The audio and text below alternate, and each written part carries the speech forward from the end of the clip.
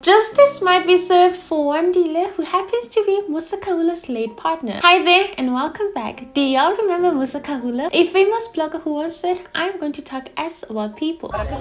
Well, turns out his account has been blocked and some YouTubers might starve as a result of all of this. Since he was one to always make sure to break the news while they were still hot from the oven. It's no secret that Musa Khawula did destroy some noble people's reputation by exposing their dirty little secrets and as a result some celebrities have have lost their supporters' respect. Musa Khawula appeared at court for a murder he's accused for committing. It's alleged that he stabbed his ex-boyfriend by the name of Wandile, even though he claims it was all an act of self-defense. Many tips, although, are rejoicing over his account being banned. One tip said Twitter sent Musa Khawula on an early retirement before he even goes to jail for murdering Wandile. Another tip said Musa being suspended means he can now focus on the simple things such as bathing, cutting his hair, simple stuff in jail. Just the other day, Musa Khawula posted his last words on Twitter and he said, Not paparazzi getting me, referring to a photo of him making circulations on social media wearing his favorite black t-shirt. I don't know why, but I have a feeling Musa Khawula might be missed. Should I say